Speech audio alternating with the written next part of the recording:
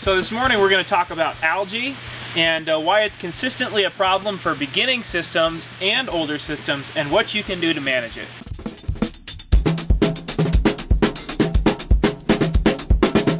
Algae is a really, really interesting problem in aquaponic systems because it's an essential part of the ecology. So almost all aquaponic systems are going to have algae. And when we talk about algae, what we're talking about is uh, they're basically little bitty, teeny tiny, itty bitty, you know, plants that are growing and living in your water, floating around in the water. And um, they perform photosynthesis, so they're a lot like plants in, in that they, you know, they're, they need light to survive. They're fixing carbon dioxide and they're producing sugars and these other compounds that they use to divide and uh, to basically grow more of themselves. So um, in aquaponic systems, we don't have big multicellular algae uh, super often. We do get some filamentous algae, so when you have um, kind of long algae strands and you see that kind of growing together, oftentimes that's what that is.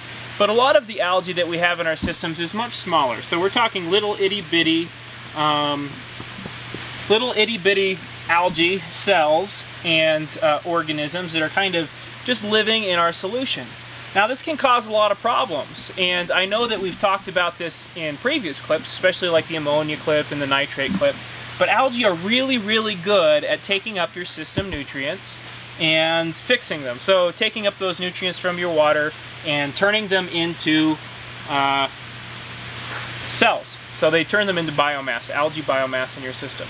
That's a bad thing because if your algae is taking it up, your poor little plants, you know, that's my best illustration of a plant at the moment, they don't get any of the nutrition in your solution.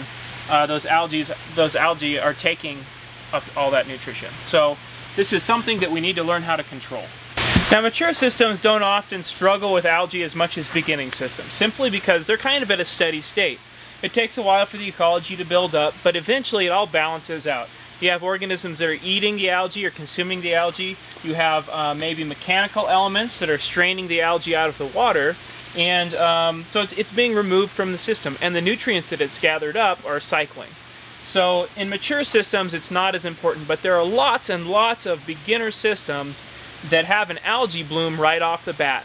And that's a bad thing. It's not just taking up nutrients, it's also throwing off the pH. So in the middle of the day, oftentimes the pH will rise, when the sun is at its highest, and then at night the pH will drop back down. So people will see what's called diurnal swings in their pH uh, just because you've got a lot of algae in the system. So we need to figure out how to control it. So the first way to take care of algae is shade, okay? Algae needs shit or light to survive, so if you can actually shade your fish tanks, then you basically remove one thing that the algae really need. Um, so this is kind of the first step for almost all aquaponics practitioners, okay? And this is fairly common knowledge. If you're starting a system, it's good to shade your fish tanks. Um, the second thing that we can do to control algae is some kind of filtration, okay? Filtrate, there we go. Filtration. And um, for us, you know, we're using towers. So the fiber in our towers filters those out, that algae out of the water and our redworms are consuming the dead and decomposing algae. It's all part of this big, beautiful, wonderful nutrient cycle that we have. So these are the most common ways of dealing with algae, but there are a few more little tricks uh, that you can do to help control algae in your system. So to start, the, the one that I really love, um, this is the Nate Storey Secret Algae Control Method, is after you've done these, it's always good to use a little bit of this. Um, now this is something that we do here at Bright Agrotech. I'm not sure uh, it's really done elsewhere, but we use humic acid um, to essentially darken our water. And what we do with this is a little goes a long way. These are natural um, acids that are basically uh, in all plant material and decomposing plant material. So what we have here is a concentrated form of that. It's not truly really acidic, so it's not going to drop the pH of your water that much um, especially in the quantities that we add it, because we add very little. But what it does is it causes the water to darken. And I'm going to uh, show you, do a little demonstration of that here real quick to show you kind of how this works.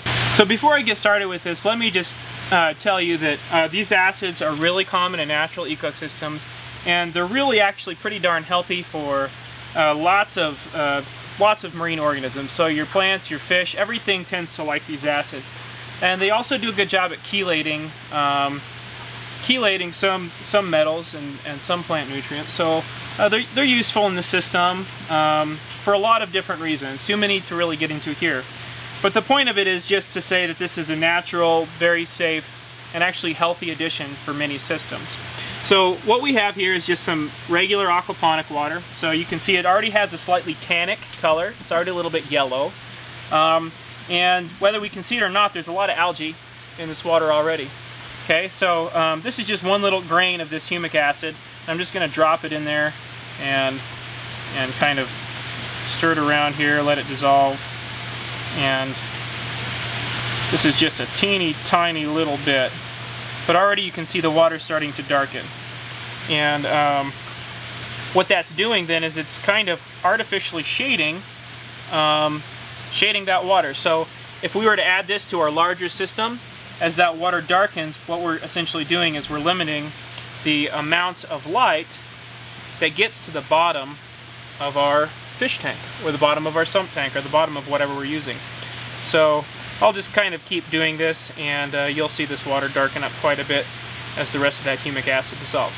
So um, essentially what we do here is we're not we're not just kind of supplementing our system with this kind of healthy little amendment for our plants, for our fish, for the other organisms, but we're also causing our water to darken and we're shading out the algae. So we're in the water itself, uh, we're reducing the amount of light available to the algae. And I found that this is a really useful thing, not just for system health, but for keeping your algae blooms to a minimum.